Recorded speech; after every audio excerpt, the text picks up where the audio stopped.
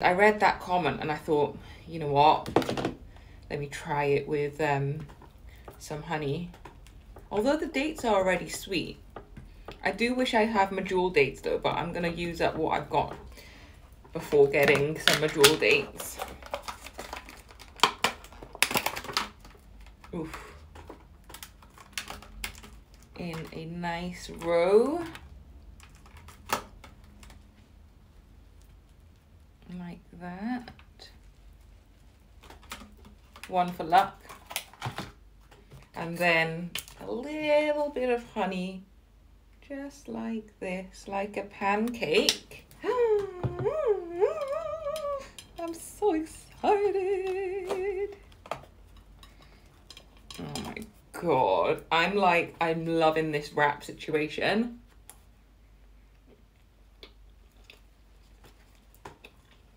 Mm. Mm hmm. Mm. Mm.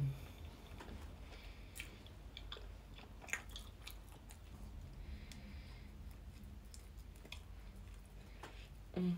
I just love how sticky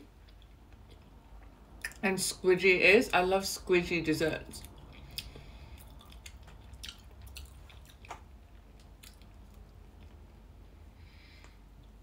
Mm. Mm-hmm.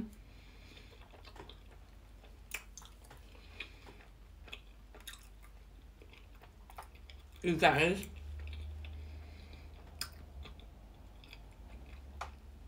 I'm running out of time now, but I think that's me done for the day. I'll see you guys tomorrow.